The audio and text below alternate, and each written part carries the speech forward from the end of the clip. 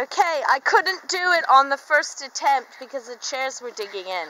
So this is my next attempt at pulling all these children to keep myself fit and healthy over the winter months. I'm doing a great job. Are you having fun, kids? Yeah!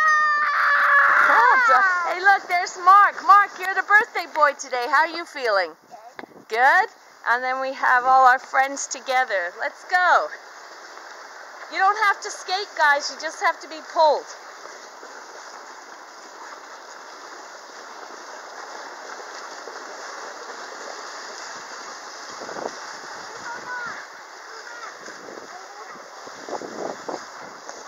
I think it's working, guys. Working!